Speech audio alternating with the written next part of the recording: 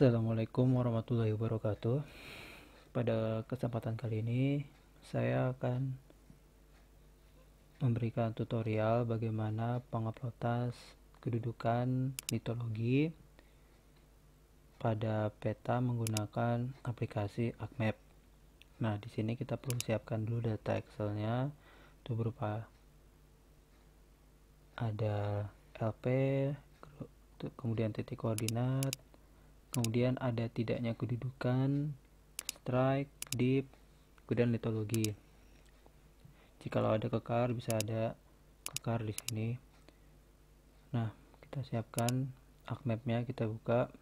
Kemudian sebelum kita mulai kita harus connect to folder dulu. Pada folder tempat menyimpan si data Excel tadi.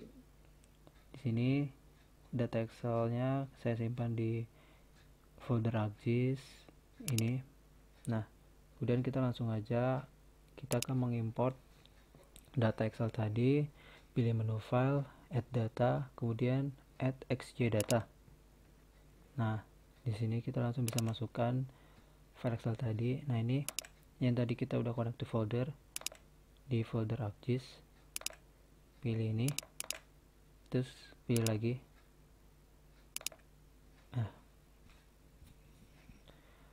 di kolom X field ini kita masukkan X kemudian Y. Kemudian untuk Z kita abaikan saja. Kemudian untuk sistem koordinatnya kita bisa langsung masukkan. Kalau misalnya itu di daerah Jogja itu bisa masukkan zona 49S tergantung pada daerah uh, telitian kita. Kemudian oke okay saja. Oke. Okay. dan seperti ini akan muncul titik-titik dari tiap LP selanjutnya kita akan mengkonversikan si layer ini. Itu menjadi data SAP atau shapefile klik kanan pada layer ini kemudian pilih data export data. Export all features display source data kemudian untuk outputnya kita bisa taruh di sini kemudian kita gantikan namanya misalnya LP SHP kemudian oke OK. ini kita yes aja sehingga datanya akan langsung diekspor ke peta sebagai layer baru. Nah ini. Nah ini kita bisa uncek aja. Kita akan menggunakan si layer baru hasil konversi tadi.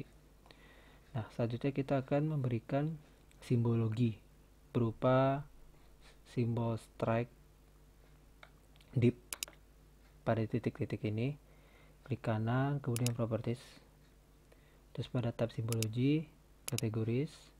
Nah untuk value fieldnya kita akan masukkan kedudukan add values ada. Artinya apa? Jadi nanti yang akan kita berikan simbologi strike deep itu hanya pada LP yang memiliki kedudukan atau litologi yang memiliki kedudukan. Nah di sini setelah kita memberikan uh, value field kedudukan kemudian ada.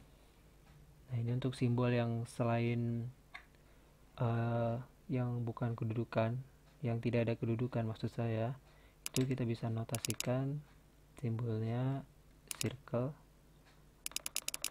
Terserah ini bebas nih misalnya aja. Terus untuk yang ada ini nah ini kita langsung berikan simbologi un untuk simbol strike deepnya nah untuk memberikan simbol strike deepnya pertama kita bisa masukkan dulu referensi stylenya. Itu yang geologi 24k ya ini geologi 24k kita cek. Kemudian oke. Okay. nah, terus kita cari simbol strike.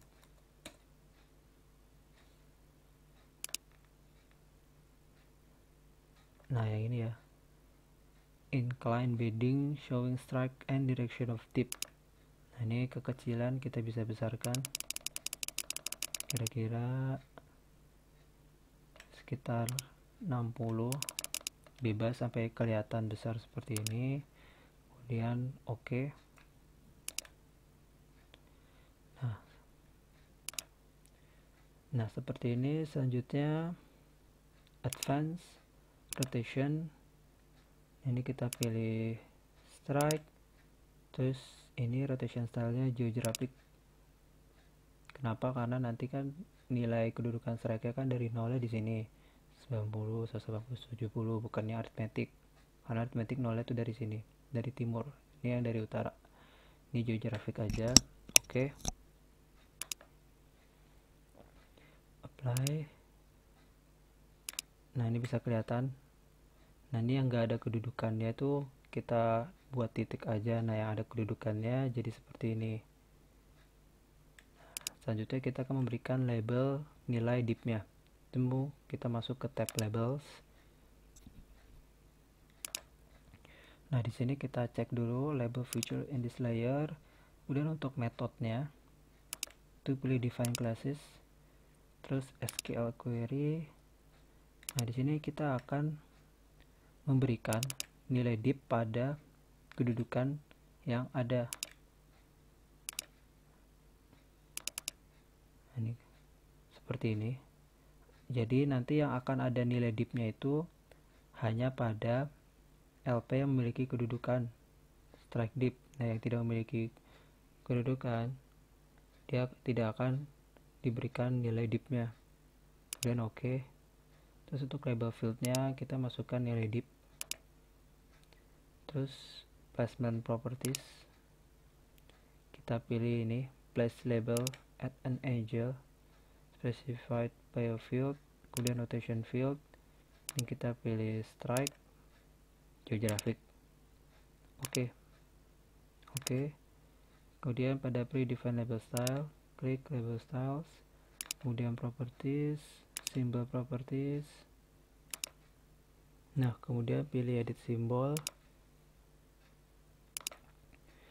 nah kemudian untuk vertical alignmentnya pilih bottom horizontal alignmentnya full kemudian untuk angelnya kita masukkan angka 90 setelah itu oke okay saja oke okay. oke okay. oke okay. setelah selesai semua kita bisa apply dan oke okay. Nah silakan seperti ini si strike tip nya sudah tepat seperti ini Itu saja. Terima kasih. Assalamualaikum warahmatullahi wabarakatuh.